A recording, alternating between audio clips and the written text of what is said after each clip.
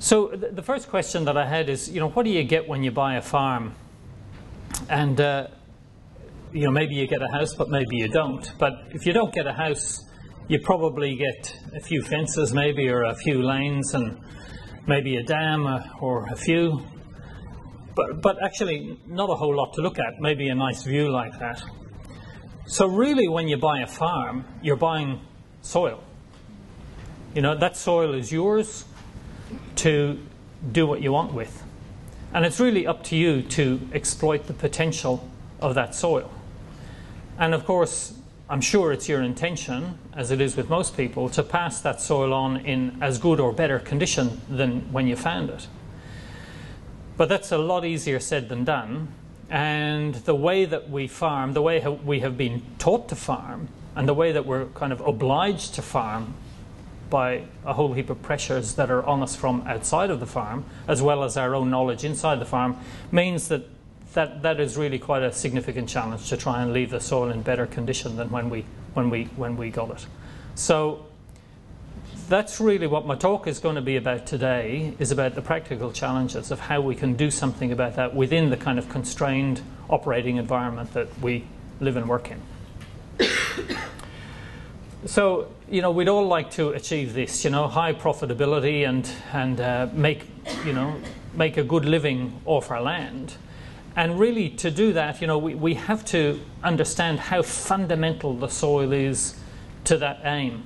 You know, some of us buy farms and the soil isn't very good. Some people, you know, we might envy people who've got fantastic soil, but actually we can always make our soil better. But there really hasn't been generally very much encouragement to make our soil better other than overcoming short-term impediments to production. So seldom have we as you know institutions said, you know, you have to improve your farm, mainly because in a lot of cases it's going to cost a lot of money, and, and, and because that money is not going to come back to you at the end of a single season, there's no encouragement to do it. But of course, if long term we want our soils to improve, we're going to have to think about how we can build that into our strategy. So I, I often ask the question, how do you want to travel? You know, how do you want to, to, uh, to, to operate your, your business? How do you want it to be productive and successful? And so either we can, is this the light? You know, these are some beautiful ferrosols in the north of Tasmania where I was lucky enough to work for a number of years. And I equate these to the Ferraris of the soil world. They're really beautiful soils that can grow almost anything. Uh, but of course, on the other end, you know, we've got these soils here which aren't going to grow anything, and really they're, you know, they're the, what used to be a Toyota, but they've been flogged to death, and now really that's all they're good for. Uh, and of course, if you don't look after your asset, and again, this is a photograph, uh, this is a, a sadly a typical site in the north of Tasmania where we, do, we, we uh, cultivate these beautiful soils up and down the hill, then it rains and all this material washes down here. And uh, I, I, don't need to tell you that a lot of it washes off the farm as well, and we see rivers running thick and red, uh, um, you know, every um, every winter. And in fact, uh, it's um, um it is frightening to realize that on many of these soils, whoops, on many of these soils, we're actually farming the subsoils. But the subsoils on ferrosols are so incredibly good that many farmers don't even realize that they have lost all of their topsoil and they're farming the subsoils. And of course, this is where we end up. And sadly, this picture is kind of all too familiar. You know, grazed out, clapped out, dry, parched, hungry, compacted paddocks. So, you know, I asked the question, is there a problem and we kind of have universal agreement that yes, there's a problem. You know, from the International Union of Soil Sciences, the Food and Agriculture Organization, UN, uh, I don't, uh, they're possibly not called DAF anymore, but you know, federal government and basically everybody else. The catchment management plans for these areas will say yes, we've got we've got issues with soil quality, and the consensus is we have had this extraordinary decline in soil quality and quantity. Um, of course, it's a non-renewable resource. And if we truly, truly treasured it as a non-renewable resource, then the idea of losing any soil off our properties would be, you know, a, terrible um, realization. And of course, uh, you know, I'm kind of almost getting tired hearing this statement, but I almost can't hear it enough, and I can't remind people enough of it. And, and uh, I, I, smiled when Charlie mentioned it this, earlier. So um, there is actually huge investment, and, and this is, you know, so there's a lot of ironies that I don't really understand. There's huge investment in natural resource management and productive soils through Caring for Our Country, Carbon Farming Initiative, publicly funded research. And in, in 2011, as part of the lead up to the soils, National Soils RD&E strategy, there was a stock take taken of who's investing what across the country. And the funding providers are putting up $42 million. And uh, the uh, RD&E providers are spending you know, more than that. So a total of about $124 million a year is being expended across Australia in soils RD&E of some, in some form or other. That's public and private. That's the whole lot. So what does the money buy? You think, okay, there's so much money being spent. You know, what are we seeing for it? Well, we are seeing good science. There is no doubt about that. But the question that I ask is, is the science that is being produced, is that what is needed for sustainable production? And is it giving us the knowledge and skills to build the capacity in our agricultural systems? Uh, is it building and strengthening agricultural communities? And I think the answer to that is clearly no, because we're seeing you know, our countrysides being depopulated, which is a tragedy. And most importantly, is it showing that we're learning so are the ultimate outcomes better? You know, back in 2010, the Victorian government had a. uh, I was only reminded this morning by Rhiannon, I'd kind of forgotten, but it was why, why my job was created with the Victorian Department at the time. The Victorian Auditor General had an in inquiry into uh, a lot of money being spent by the Victorian government into soil health. And they, they had the inquiry and they said, well, you know, was it well spent and, and, you know, good kind of public process. And the findings basically were, yeah, it, was all fine, but where's the evidence that it's actually brought any improvement in soil health across the state? And of course, there wasn't any evidence. So what do we want and when do we want it? Well, the, the issue has been around productivity and sustainability. And now that I'm not a government employee anymore, I can tell you the shocking fact that when I worked in the department, you know, we used to laughingly talk amongst ourselves about the S word. We weren't allowed to use the S word. So, in other words, we were not to talk about sustainability because the government didn't find sustainability very sexy. What was very sexy was productivity. And productivity is where it's at. It's all about productivity. There was no room for sustainability, so don't talk about it. We had to talk about productivity. So we catched everything in terms of sustainable productivity. Um, so the issue was about, you know, for me, they do not need to be, they're not exclusive at all.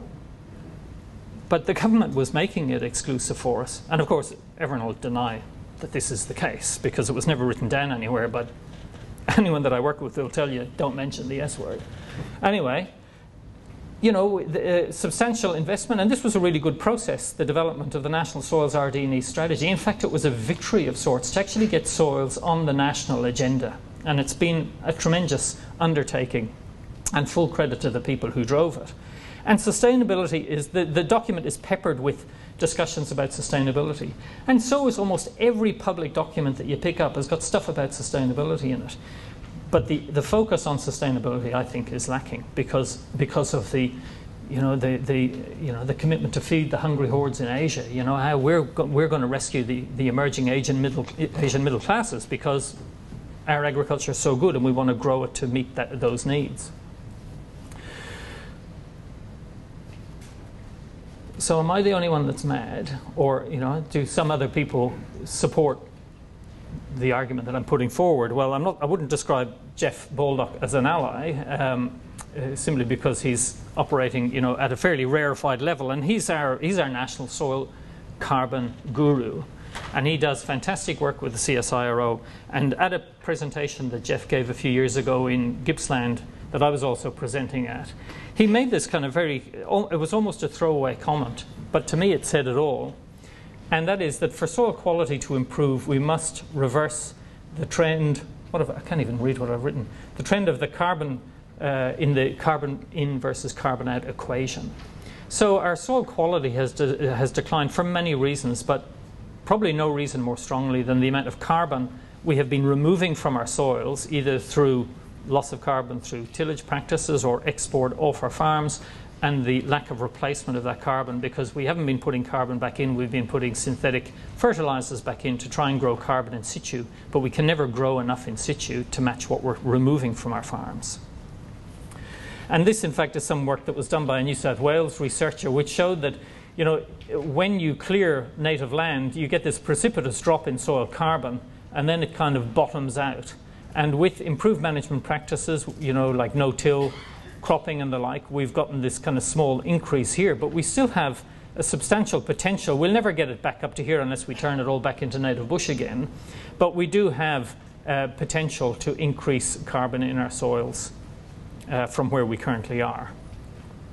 So nowadays, I think we do, we, we really want to try and have our cake and eat it. So, in other words, we want to try and maintain the level of production that we have come to expect, or indeed that we have to have to pay the bills, but we also have to try and uh, uh, increase the resilience of our systems and improve the quality of our soils to uh, make sure that we can continue producing into the future.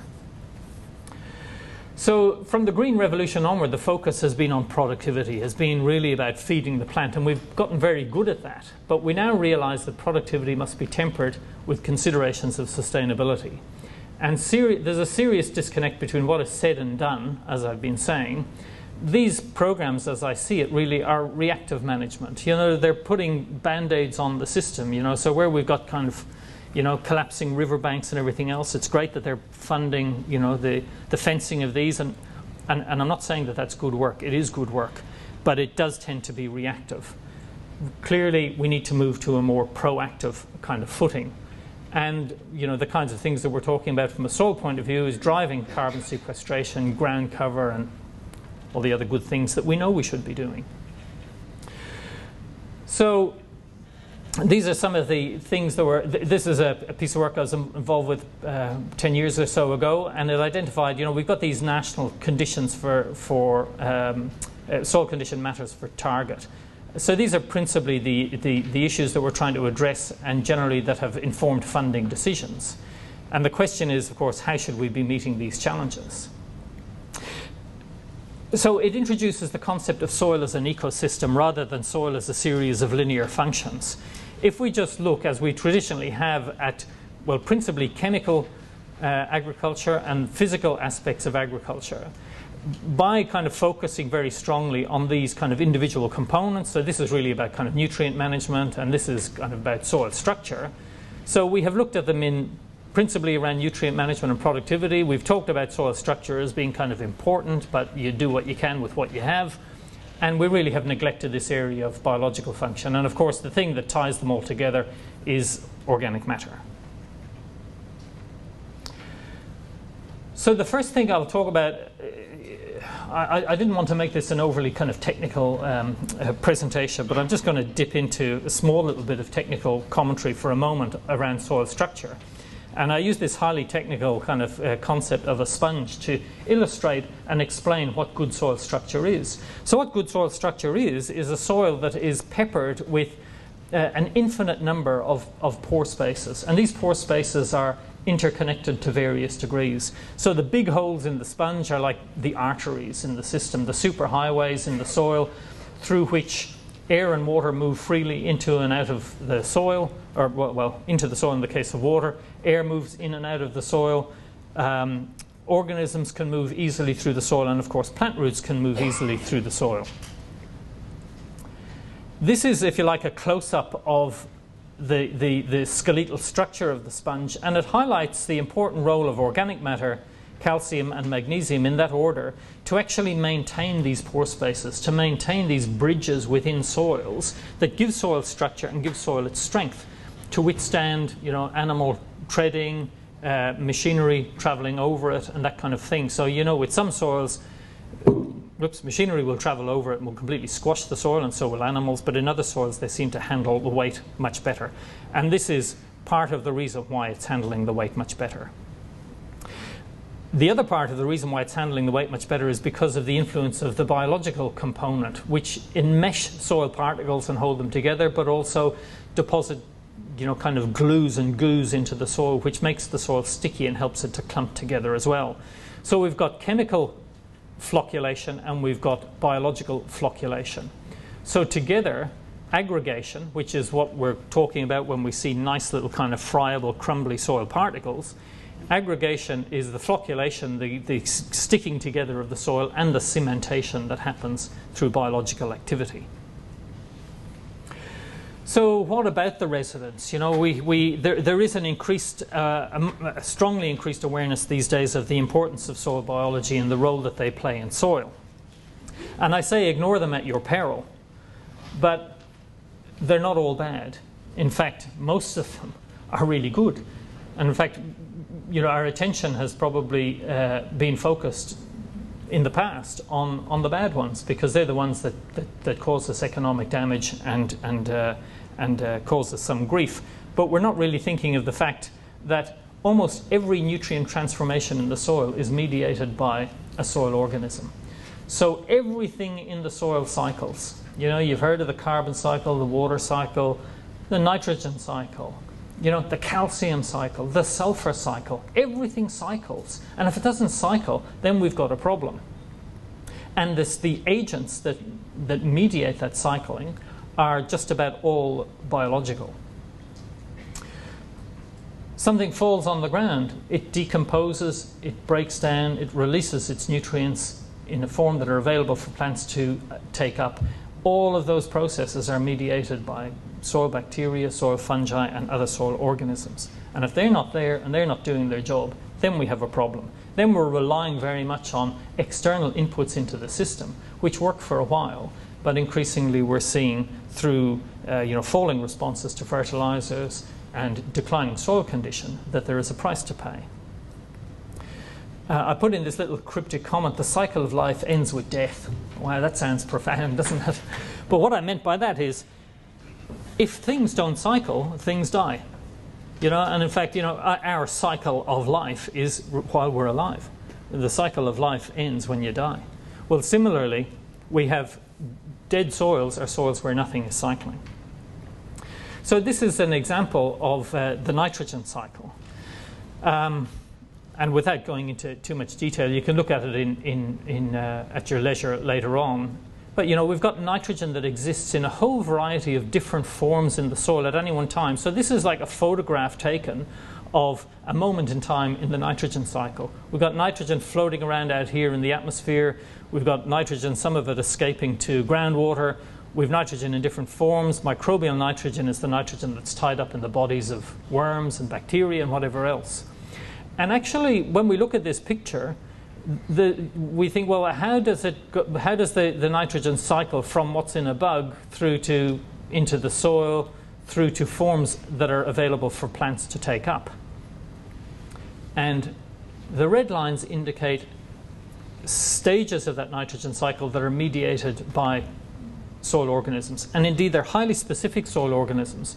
So the soil organism that is dealing with uh, with uh, nitrification is going to be a is, is a different soil organism to the one dealing with ammonification and all of the other steps. So you really need a diverse suite of, of uh, in this case, bacteria in your soil to drive the nitrogen cycle. So the question is, how do we look after these organisms? How do we encourage uh, soil biology and how do we maximize nutrient cycling in our systems? So I say that uh, you know soil life needs air, water, food, and shelter, just like you and I. And in fact, this is some work taken, uh, information taken from the work of a guy called Clive Kirkby, uh, who works for CSIRO, and he's making the point that you know, this is a humans, this is alfalfa, this is an insect, and this is a bacteria, and we're, we're primarily, you know, 97 to 99% of, of our very being is made up of only six elements. Incredibly. A lot of diversity in the other kind of 1 or 2%, but really, you know, we're, we're very similar. And so our needs are very similar to that of other anaerobic organisms. Um, and on that issue of habitat in particular, you know, the relationship between soil structure and soil biology is that we're providing habitat. And we're providing habitat where uh, organisms are able to protect themselves against predation because, believe me, it's a serious jungle down there.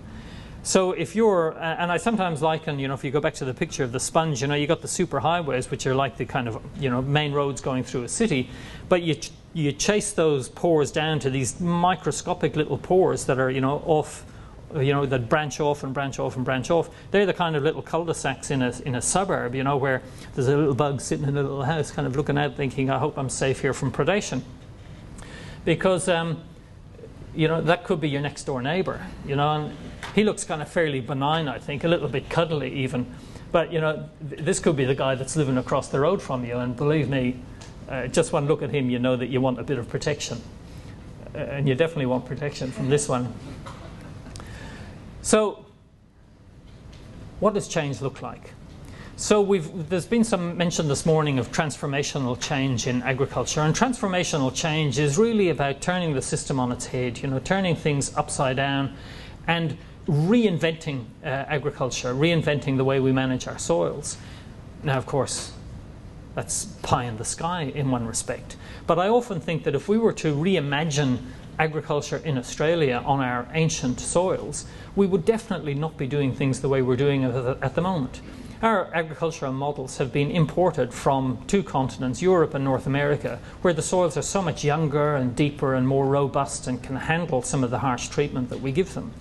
But you know, I liken Australian soils to kind of, you know, visiting an old folks' home as opposed to visiting a kindergarten that you might in, in Europe, you know, where the kids are jumping on each other and bouncing and everyone's jumping up smiling because no one's hurt. But on an old folks' home, if you see the old folks jumping on each other, you know, you've got a bit of a problem.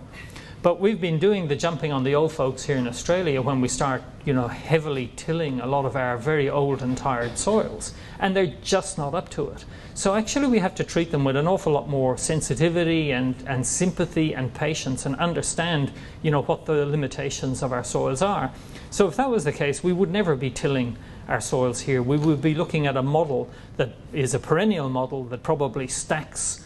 Um, different cropping uh, opportunities on top of each other. So there might be, uh, you know, a legume ground cover. We might have some kind of mid-row plant, and then we might have an upper story plant, which is more of a systems kind of approach, informed by uh, agro-ecosystem management or even permaculture, which I'm sure David will be referring to later on. So that, for me, is transformational change, but we're, we're not going to see that in any kind of hurry the incremental change, the argument there is it's not happening fast enough because the incremental change is really just kind of propagating the same thing. So for some of you, you know, for the farmers in the room who've got to go out kind of and, and think, oh, okay, I spent yesterday at this talk fest in, in, in Moama, what am I going to do differently tomorrow? Well, I, am not expecting you to go out and, and, and perform some kind of amazing transformation on your soil, but we can definitely accelerate this aspect of change because I think there's real benefits to be made there. And hopefully, if we can accelerate those and magnify those changes, it will lead to transformational change. But at the moment, we're just a bit stuck. So, we need to understand more about how soils function and the concept of soil function to, to tell us what the management requirements are. You know, what do the bugs need? How can I maintain and increase soil carbon? How can I extract maximum ecosystem services from my soil? And this is kind of principally around, say, pest and disease management, for example, and how to support soil life to support us. So we, you know, we're, we're, familiar with this concept of carrying capacity of the land, but uh, you know, we need different metrics to determine what that actually means. And um, you know, how many stock can I carry without degrading the land is not something that we really think about when we, when we talk about carrying capacity.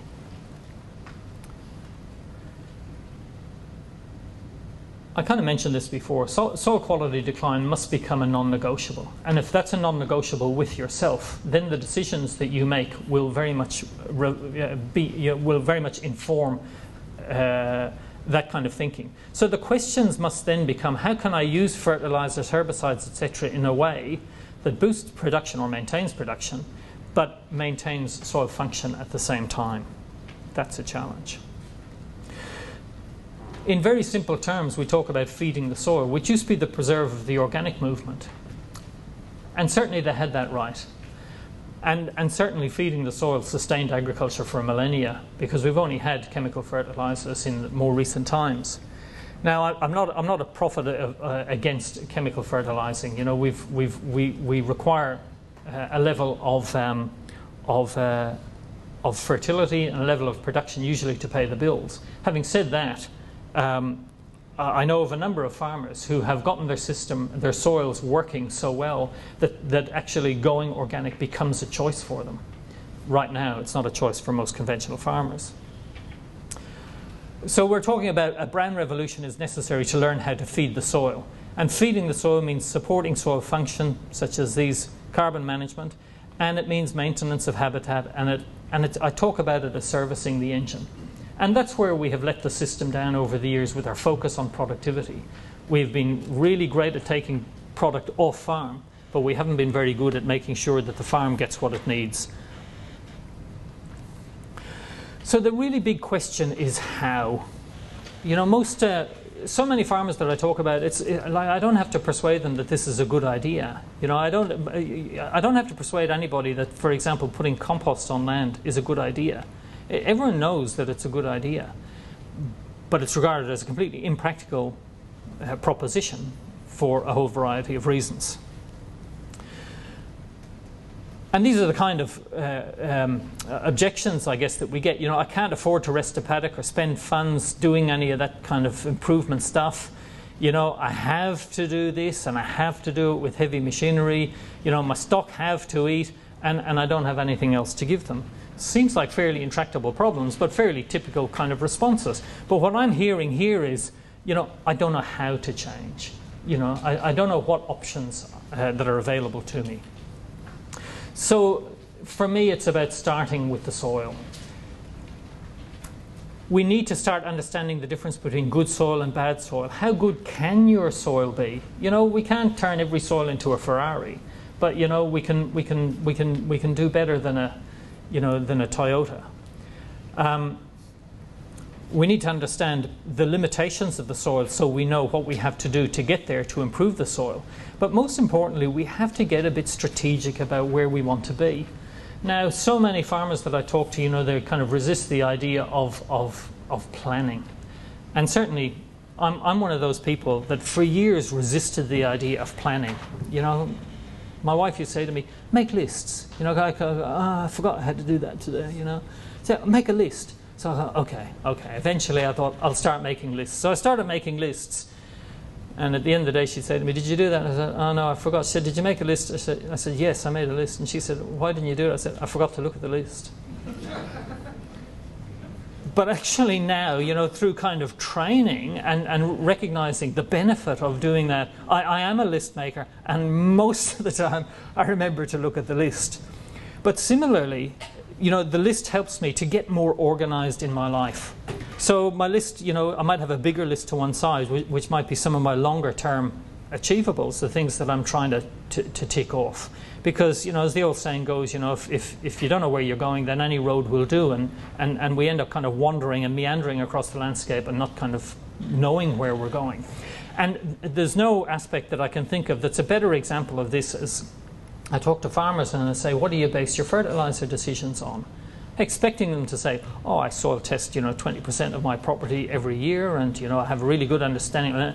No, forget it. That doesn't happen or seldom happens. Most of the, not most, I'm shocked when farmers have said to me, depends what the tax man tells me at the end of the year, how much money I can spend on fertilizer. And then I go out with my three and one or whatever else. And then we soil test those guys. And guess what? They're, they're full, their soils are full of, of, of, uh, of phosphorus and, and potassium, but maybe there's no nitrogen or sulfur in the system. So they're wasting so much money on what they don't need, and they don't know what they do need. And it's because soil testing is too expensive well, you've just wasted, you know, $20,000 on, on unnecessary fertilizer, you know, so a 100 or $150 soil test is too expensive. So get strategic. And uh, whatever you do, you know, it's going to work better if your soil is in good condition. And this is another kind of beef that I have with my research colleagues, is fertilizers are cheap. And while fertilizers are cheap, we're going to continue just pouring them on, you know, a little bit more, you know, the, the more on thing. Um, but what we're not looking at is nutrient use efficiency. Now, it might shock you if I tell you, some of you probably already know, but if I tell you that nitrogen use efficiency in, in Australian, in Victorian dairy farms is probably about 35%. 35% of the nitrogen that goes onto Australian, Victorian dairy farms turns into grass that cows eat. So that means if a farmer is spending 600 ton, $600 for a ton of urea, they're actually spending $1,800 for the value that they think they're getting out of it. And, and no one, you know, I, they should be rioting in the streets about this. You know, how come we're, we're wasting so much money? So,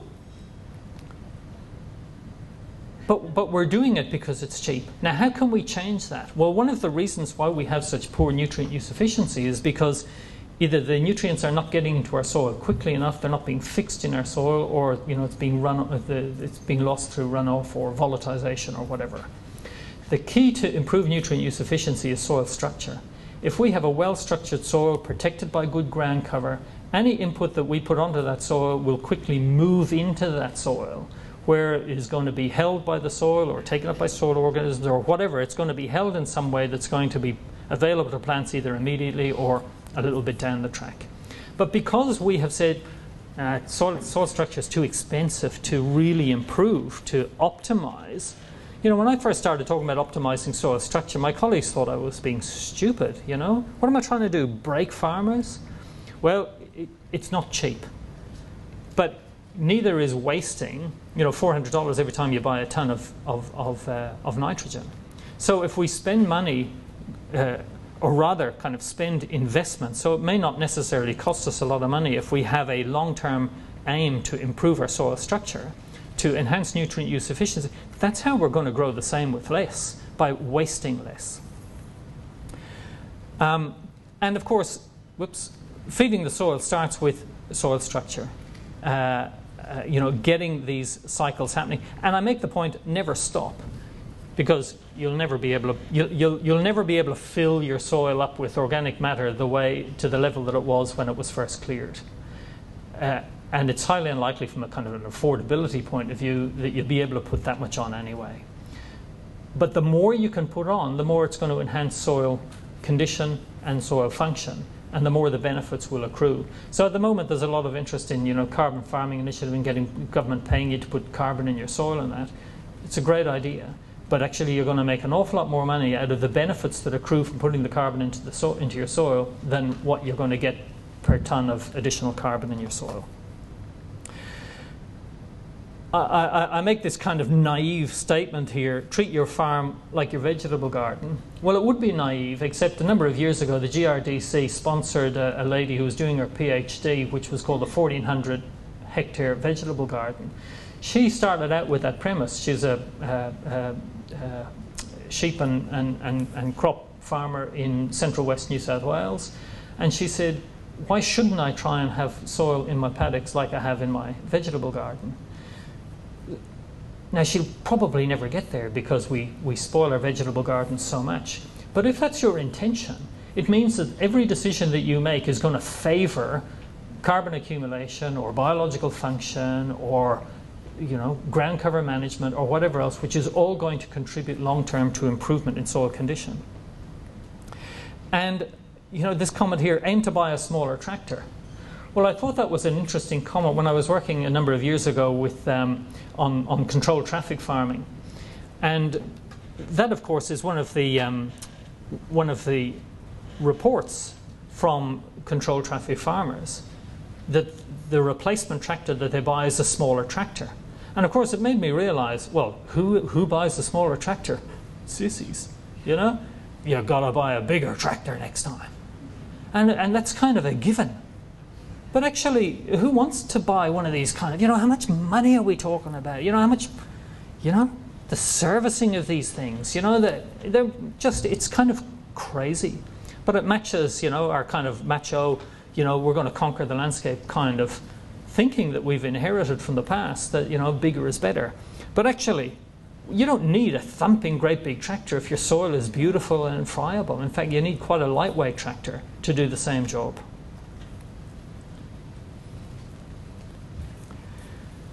So our farms are ecosystems in themselves. The soil is an ecosystem within the ecosystem. And if we start understanding that we're trying to manage ecosystems, we become a little bit less interventionist and we become a bit more, um, we, we, we have more of a stewardship type of approach to the management of our soils. Of course, monocultures are not nature's way. When have you ever seen a monoculture in nature? Um, diversity of pasture and crops means diversity underground. And of course, the reason for that is not only have we got a whole range of different root architectures, so roots of different, different surface areas, different depths. The, the, a, a truly fascinating area about soil management is the communication that goes on between plants and the soil.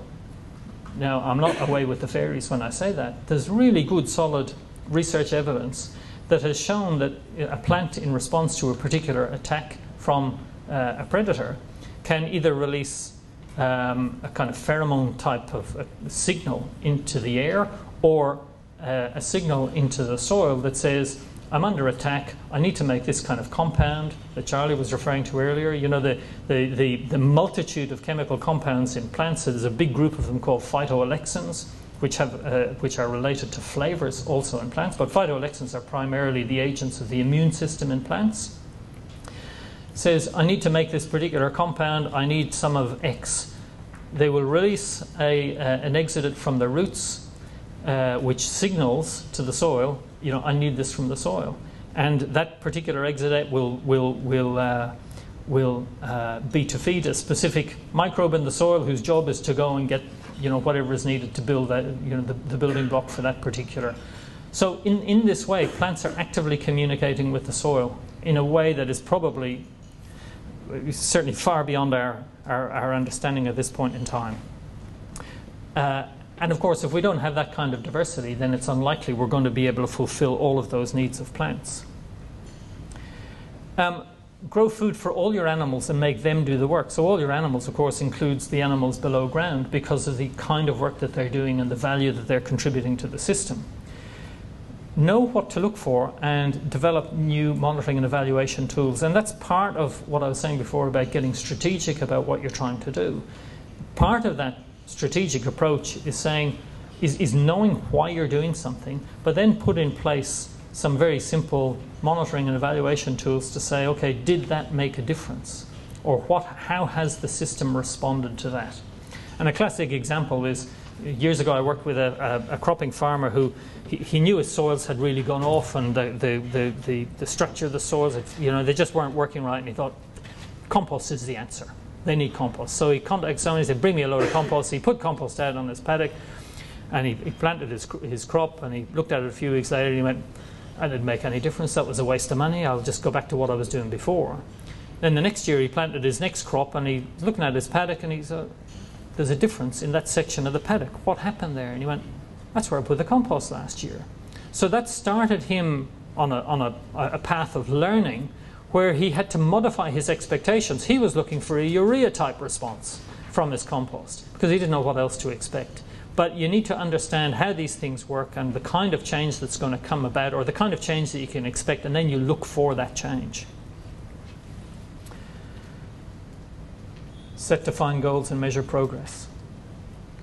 So I've mentioned soil biodiversity. The, you know, this um, uh, um, this concept of the Elton principle was developed by this guy back in the early 70s, and it was really saying that the, uh, the, uh, the greater the diversity of a system, the more resilient that system is to change. And that means uh, change in the form of pest and disease attack or um, well, we'll just talk about pests and disease for the time being. Um, what else have I said? Yeah. This um, graph here is showing, uh, this is some work done in Avon in South Australia in the cropping area here. And, and in fact, Pauline Mele and her, um, her team, who are microbiologists with the state government, one of her uh, one of her researchers is working on this project, which is looking at the concept of suppressive soils, And that's where the disease is present in the soil but is not manifesting in, at, at levels that are producing an economic loss.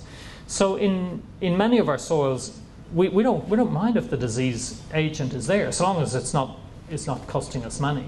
So if the disease agent is there, we just want it to be controlled by something else in the soil. And what this graph is showing is as the carbon was increased in the soil, the expression of the disease markedly dropped off. And the reason it dropped off was because adding the carbon to the soil obviously supported the antagonistic organisms that are taking out the, the pathogen. So take small steps. Examine everything you do to determine how it will impact the soil. Become a carbon farmer because there is such a relationship between carbon and productivity. Feed your workers with green and brown manures, compost, long cycle grazing. And uh, Graham Hand is going to be talking about long cycle grazing earlier, as Charlie did before. But one of the things I like about long cycle grazing, and in fact, you know, I, I was slammed by you know some of my colleagues for uh, for you know betraying the party line of Evergraze, which I'm not going to knock. But the, the thing that I particularly like about long cycle grazing is that long cycle grazing encourages really deep rooting.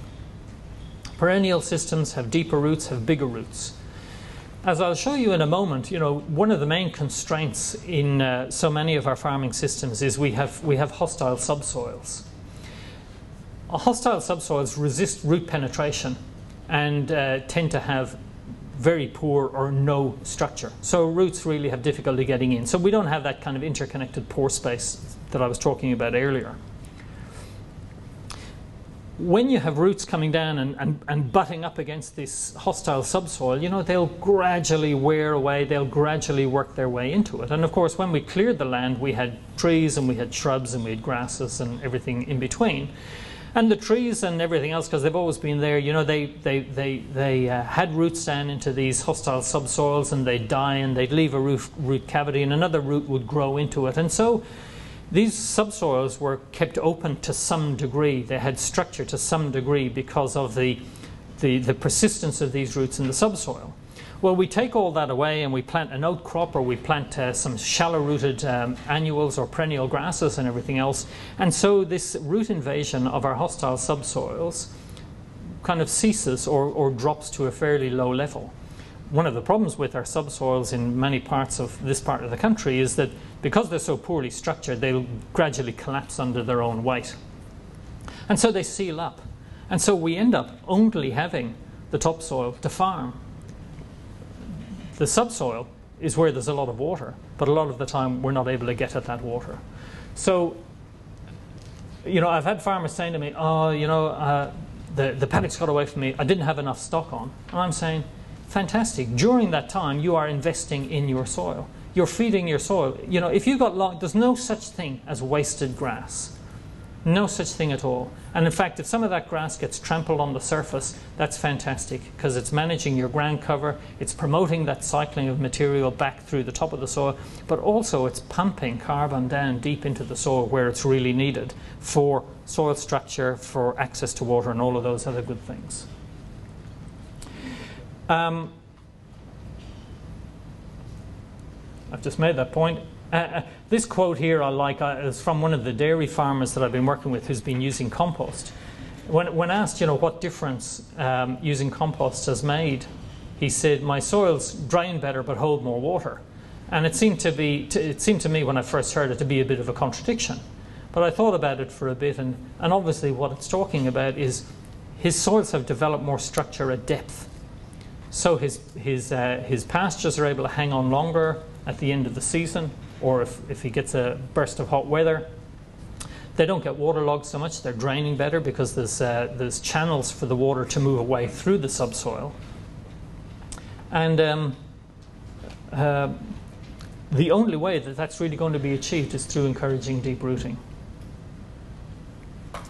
This is an example of uh, some, you know, well, you know, a, a, very common soil from the, um, from the Western Division. And it's kind of making that, it's illustrating that point that, you know, we have our fertile soils here, but then the, the subsoils are, are, are, you know, gnarly, as the say. Um, they really, they are such a serious constraint to, to production. So one of the um, and this is where we have to get a little bit more creative about how we manage this. So there's been lots of strategies to try and uh, that, that, have been tried over the years. You know, principally around putting gypsum down into into the lower parts of the soil to to to aid root penetration and to try and address you know the the collapsed structure down here. But um, we've been working a lot with uh, subsoil manuring in recent years, which is basically putting organic matter at that interface between the topsoil and the hostile subsoil and just having that uh, organic matter at that level, increasing uh, uh, productivity because of the nutrients in that organic matter, but also stimulating biological activity in conjunction with those roots, is seeing reflocculation of these collapsed subsoils. So, in other words, restructuring of these collapsed subsoils. So you'll recall at the start, going back to the sponge analogy, we were talking about how important organic matter and calcium and the like are to flocculation, which is basically taking taking soils that are kind of in a in a flat plane and making them kind of clump together and making them form pores between them. That's what's happening here. And the uh, improvements in productivity and in uh, water use efficiency have been nothing short of remarkable. And I'm finishing with this, uh, with this issue of farmer satisfaction. I, I, remember one time I was asked to, uh, to come and, and, uh, and spend well, what I thought was going to be a couple of hours with a group of farmers down in the southwest. And I got there and they said, Great, we've got you all day. And I'm thinking, All day? What am I going to talk about? So I thought, Oh, well, let's start slow. Let's have a cup of tea. So we sat around. There was probably 12 or 15 farmers, and we sat around. And, and I thought, Well, tell me a bit about yourselves. Tell me you know, what you like about soil, what, what don't you like about it, and, and you know, what do you want? What do you, you know, what do you want out of the day? And, and the, the kind of convergence of opinion was that farmers are kind of saying, well, I kind of I don't really know what to do to change, you know, particular aspects of, of their operation or to address particular problems that they had. And what came out of that day was a, a, a, kind of deeper understanding of the need to regain fertility, control over the fertility of, of the soil, because so much of that has been lost through the, the recipe driven approach of, you know, yeah, mate, super, I put on, you know, uh, you know, put on 200 kilos of this and, and everything will be fine. And you put two kilos on and the grass grows, you go, oh, that's okay, that, that must work well. But that, and as I said, that works well for a while. But, but after a while, you, you become de-skilled because you kind of think, well, should I put on you know 200 kilos this year or 250? And why did he tell me to do that? And, and what is the soil test telling me anyway? And I don't know. Someone tell me. And uh, sadly, often who's who's telling you is a guy who's got a sales target. And I don't want to disparage the whole industry, but um, you don't always get the best advice. So farmer satisfaction is something that's commonly reported by farmers who start regaining control over the fertility of their farms and who start developing some critical knowledge around how to make decisions.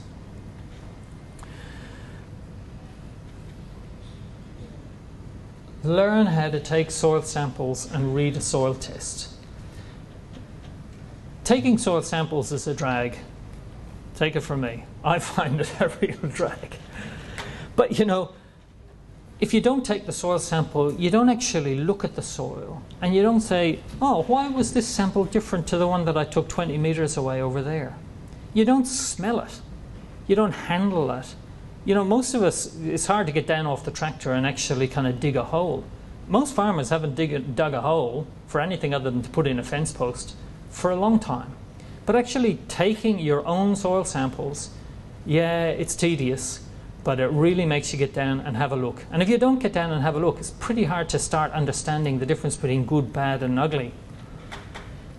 Reading soil tests is more of a challenge because no two soil tests are presented in the same way, and units are different, and you know sometimes there's kind of optimal levels, and sometimes there's not. And in fact, I really struggle with those soil tests that, that have such little information on them that you have to have an agronomist to interpret them for you because you're kind of like you're vulnerable in a situation like that.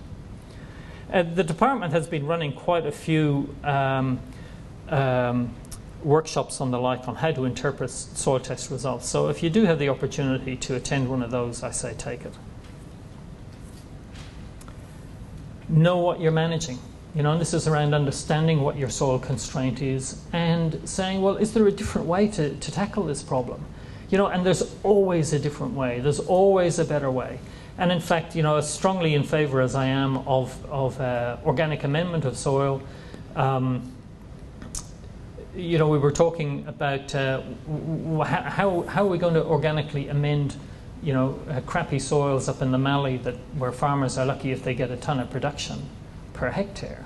You know, it's economically it's out of the question. So no one has ever thought, oh, well, don't even think about it. It's economically out of the question. But actually, you know, we looked around and we saw some research and we we we found a way, and that way involved getting some organic material, putting it down the tube at seeding time at extremely low rates. But the indications were that we were getting a positive response from that. And that's something that would allow to build capacity if that was done every year. So there's always a way, and in a way that can be done you know, within the economic constraints of a farm. And, and read useful stuff. This is my shameless um, self promotion. But this is a piece of work I did in Tasmania with a colleague many years ago, and it, it kind of encapsulates, encapsulates a lot of what I've been talking about. Um, and as um, Tammy said, it's available online. Thank you.